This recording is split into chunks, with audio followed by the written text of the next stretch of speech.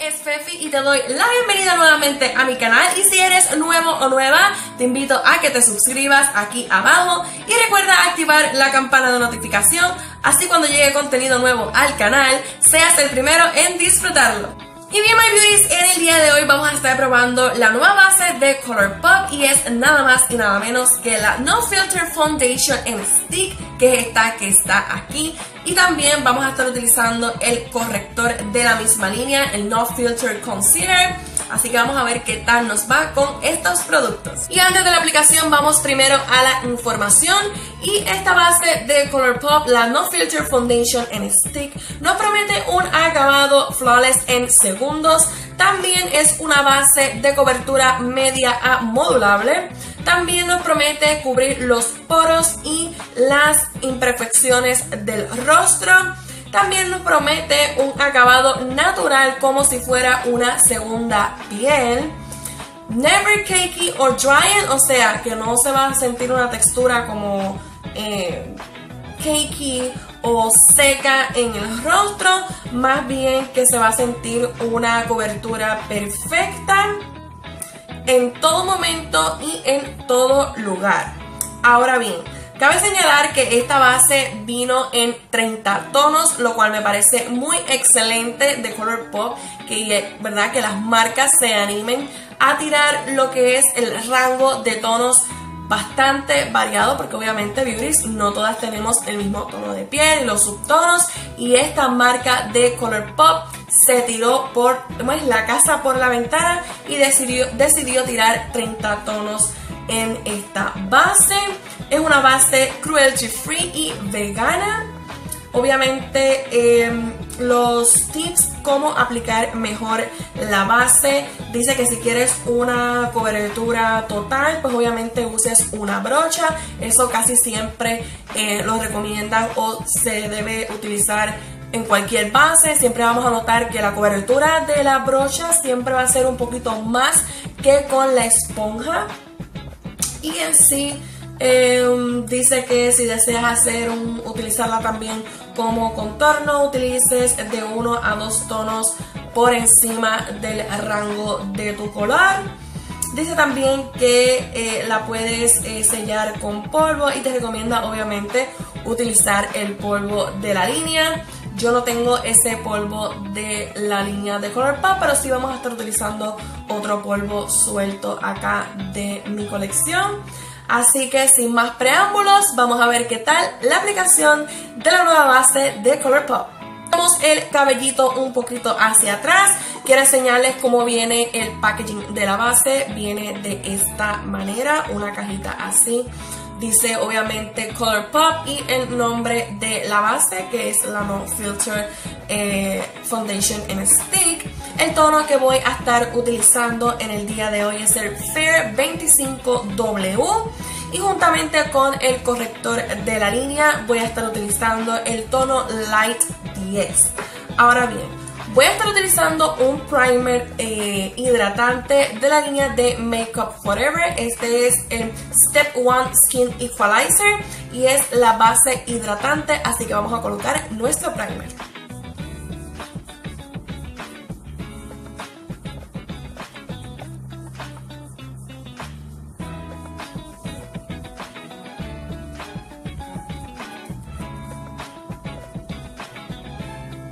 Y una vez puesto nuestro primer y haberlo dejado que se asiente a nuestra piel, en el lado derecho voy a estar utilizando la Beauty Blender y en el lado izquierdo voy a estar utilizando mi brocha a ver qué tal nos va con cada una de estas herramientas.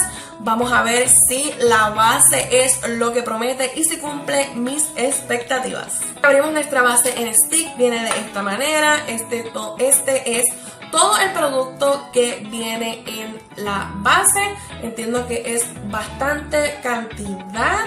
Vamos a ver. Es bien importante, beauties, que tomen en consideración que lo que son estos formatos en, en stick tienden a gastarse bastante rápido, más que en una base líquida, así que eso es un punto a considerar. No se me alarmen, no se me asusten, es totalmente normal que la base en stick se gaste mucho más rápido. Voy a subir un poquito más aquí y voy a comenzar mi aplicación en el lado derecho primero.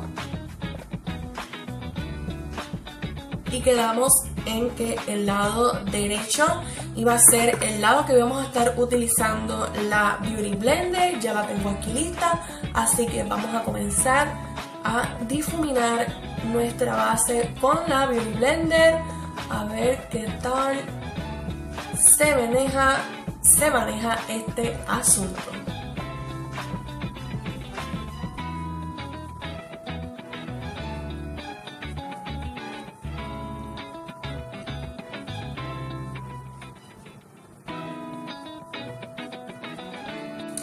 Tengo que decirles que en el lado de la esponja, el lado derecho, me gusta mucho cómo se ve, me gusta la cobertura que estoy viendo en mi rostro. Tengo que decirles que la base ciertamente en segundos seca, para nada es transferible, o sea, me cubrió muy bien.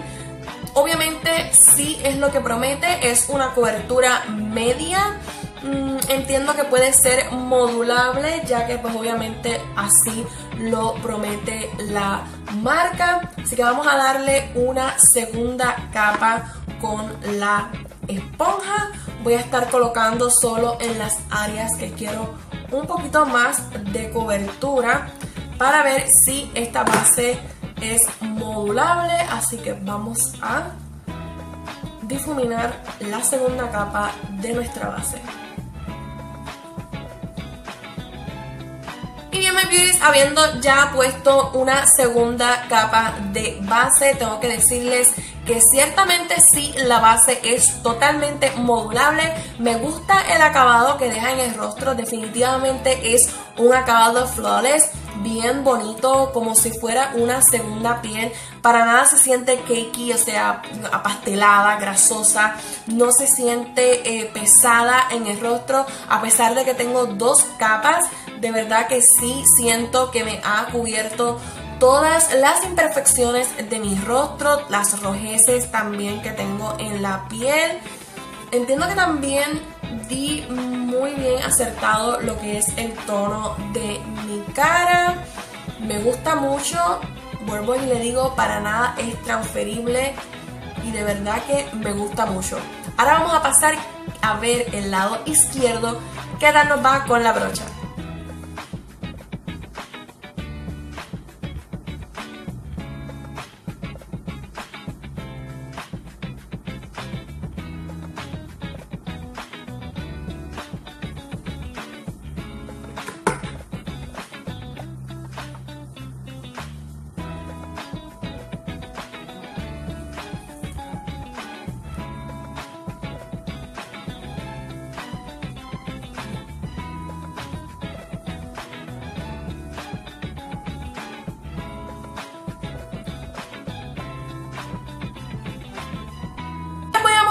Lo que es el lado finalizado con la brocha. Solamente apliqué una capa de base y tengo que decirlos, tengo que decirles, mejor dicho, disculpen, que a pesar de que haya aplicado solo una capa en este lado y en este lado haya aplicado dos, entiendo que se ve bastante parejo.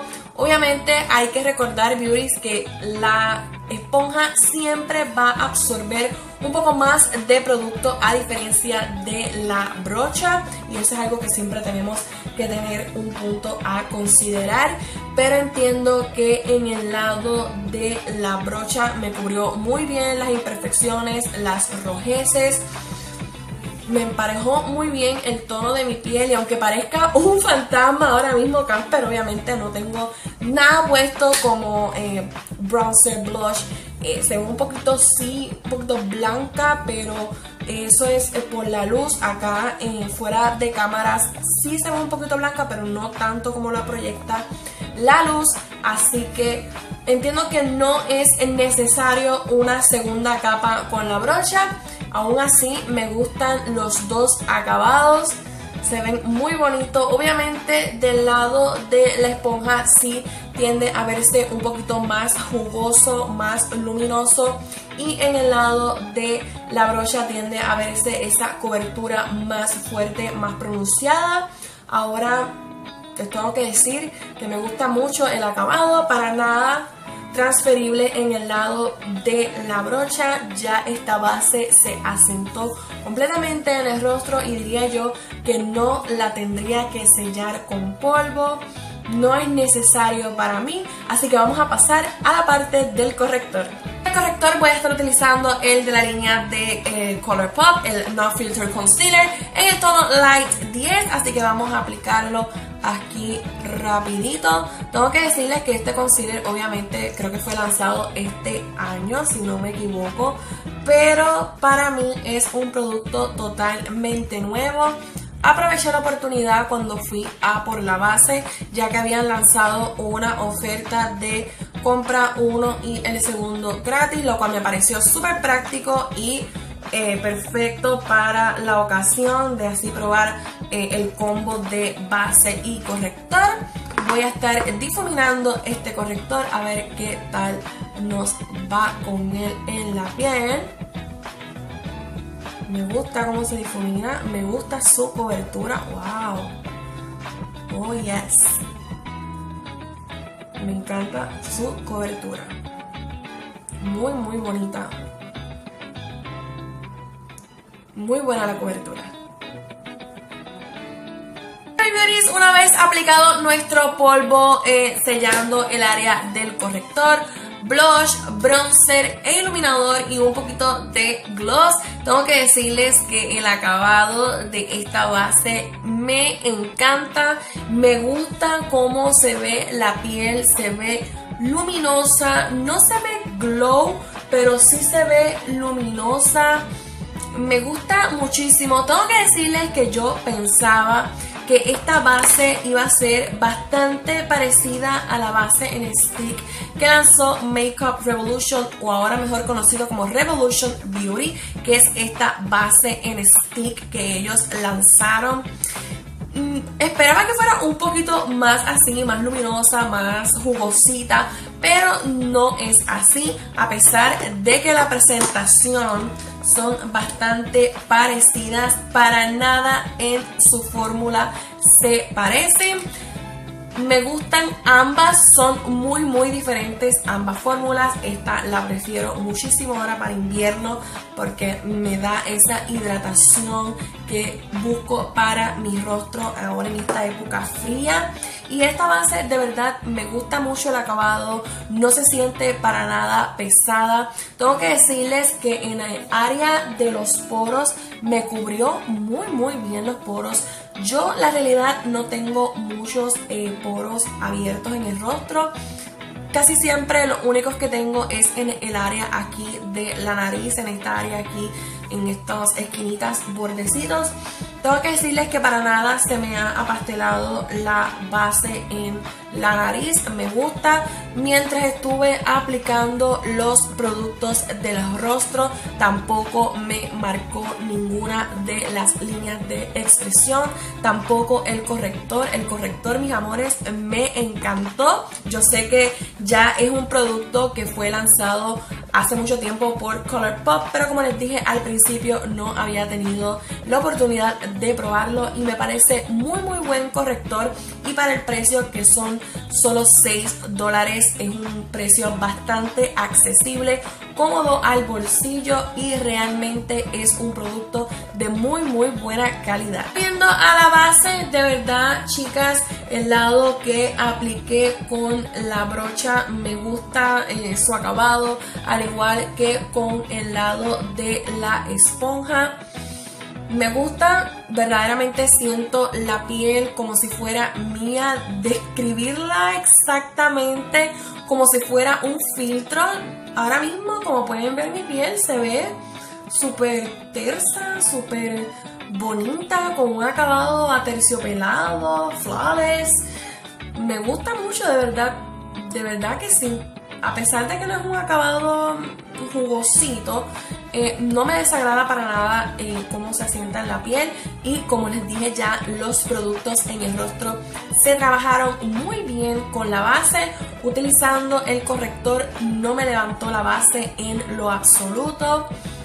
Se difumina muy bien con esponjas, se difumina muy bien con la brocha. Es una cobertura media modulable, así que con eh, tratarla de modular entiendo que podemos llegar a una buena cobertura completa, no algo tan tan completo, pero sí está pisando los talones ahí a la cobertura completa.